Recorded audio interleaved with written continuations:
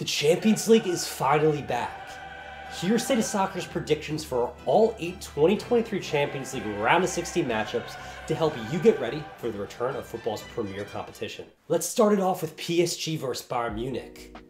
FC Hollywood, Bling Bling PSG come together for this matchup. These nicknames come from the club's proclivity to sign big stars. Stars will decide this tie, but unfortunately not for the reasons us fans want to hear. Bayern and PSG could be missing many of their stars when they come together for this Champions League tie.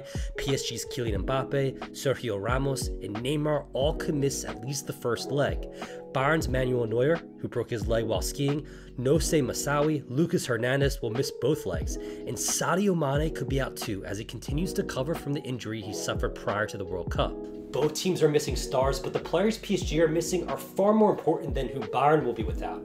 Bayern should advance, but it will be close. Our pick is Bayern Munich. This ties a matchup of two of the biggest so-called crisis clubs in Europe right now. Tottenham continue to be plagued by inconsistent form and poor first half performances, but they are still within the reach of finishing the season in Champions League spot. Milan started the season with the hopes of defending their Scudetto, but Napoli quickly proved too much to handle the reigning champions.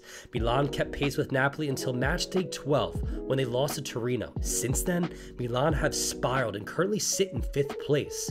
Mike Maignan calf injury back in October is a big reason for Milan's poor form. The French goalkeeper should be back this month, but probably not in time for Milan's first match against Tottenham. Tottenham's Harry Kane, Heung-min Son, and Dejan Kulusevski will be fancying their chances against a demoralized Milan side who've given up 9 goals in their last two games. Tottenham could be without their manager Antonio Conte for the first leg following his gallbladder removal surgery this week. Milan's injuries include Fikayo Tomori, Ismail Bennacer, and Sergiño Dest, who could all miss at least one leg. With or without Maignan, Tomori, Bennacer, and Dest, we think Tottenham will be too much for Milan, and they will advance to the quarterfinals. Our pick is Tottenham Hotspur. Benfica and Club Bruges were two of the biggest surprises from the Champions League group stage. Bruges were top of Group B until the last match day when they were leapfrogged by Porto. Benfica meanwhile finished top of Group H, upsetting Juventus twice along the way. Outside the Champions League, these clubs couldn't be more different. Benfica started the season on a 28 game unbeaten streak across all competitions and currently sit 8 points clear at the top of the Portuguese Primeira Liga.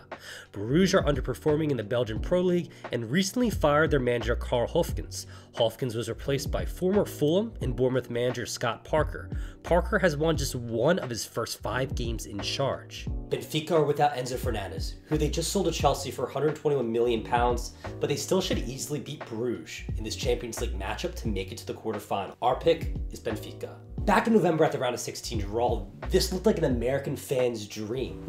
A serious knee injury to Christian Pulisic earlier this month unfortunately changed that. The dominant Chelsea storyline going into this matchup is all of their new players. Chelsea signed eight players, eight players in the January window. However, UEFA registration rules mean that they will only be able to register and use three of their new signings in this Champions League. 106 million pound man Enzo Fernandez and 89 million pound Mykhailo Mudryk were the obvious first choices for the first two of the three new players registered. After that, Graham Potter had to just pick one player out of João Felix, Benoit Badiashile, David Fofana, and Noni Madueke to take with him against Dortmund. He chose João Felix. Chelsea have struggled to score against even poor Premier League oppositions. We think they'll have a similar problem against Dortmund. Our pick? It's Borussia Dortmund. European nights at Anfield and the Santiago Bernabeu are always spectacular events in their own right. But this tie's spectacles are enhanced by the fact that it's a rematch of last year's Champions League final. Liverpool's time as a dominant team in Europe appears to be coming to an end.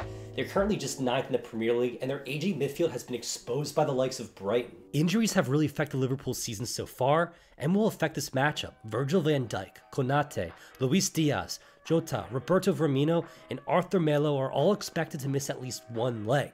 Real Madrid are suffering the same aging process as Liverpool, but their aging stars of Luka Modric and Toni Kroos are performing to a higher level than Liverpool's Jordan Henderson, Thiago, and Fabinho. Real Madrid also has the luxury of younger players who can slot in if they need a change of pace that Liverpool doesn't have. Just like last year in the final, we don't think Liverpool has what it takes to get past Real Madrid. Our pick? It's Real Madrid. The next tie is probably the hipster's choice for the best round of 16 matchup due to the romance involved with both clubs. Napoli are dominating Serie A and are on pace to win their first Scudetto since the legendary Diego Maradona won the world's hearts with Napoli over 30 years ago. Frankfurt won the hearts of the world more recently with their impressive run to win the Europa League last year. Their passion traveling fans and fierce fight against big clubs earned them respect all around the world. Frankfurt proved themselves to be upset specials last year, but beating Napoli would take a great magnitude more than it took to beat the likes of Barcelona, West Ham, and Rangers. We ultimately think Napoli should make light work of Frankfurt, but we wouldn't want to count out Frankfurt given their history as underdogs. Our pick is still Napoli. While Frankfurt Napoli was the hipster's choice, Manchester City versus RB Leipzig is a football purist's nightmare. Both RB Leipzig and Man City have many critics for their non traditional practices and multi club ownership models, the critics can't deny their successes though. Man City and Leipzig are both firmly within the title races of their respective leagues, but Man City has the clear edge over Leipzig. The last time the two sides played in the Champions League was in 2021 Champions League group stage. Man City beat Leipzig 6-3 in the only match they played a full strength side against Leipzig. Leipzig will be without key attackers Dani Olmo and Christopher Nkunku, while Man City come in with close to a full strength squad. Beating RB Leipzig should be mere formality for Man City. Our pick, it's obvious, Manchester City. Like Napoli versus Frankfurt, this tie also has something for football romantics to enjoy. Both teams once famously won the Champions League under legendary manager Jose Mourinho. In the current day, both clubs are second in their leagues, behind dominant Benfica and Napoli respectively. Porto played impressively to top a Champions League group stage containing Bayern Leverkusen and Atletico Madrid, but beating Inter Milan might be a challenge too big for Porto. Inter Milan finished second to Bayern Munich in the group stage and recently lifted the Italian Supercoppa. Forward Lautaro Martinez is hitting his stride for Inter, but Porto have a strong forward of their own.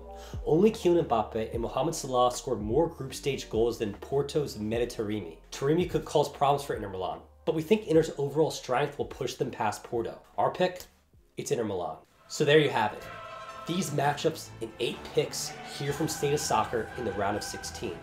I hope you enjoyed today's episode. If you did, please remember to hit like, subscribe, and if you really enjoyed it, show some love via super thanks. It goes a long way to help me put together future episodes just like this one. And until next time, take care, everyone.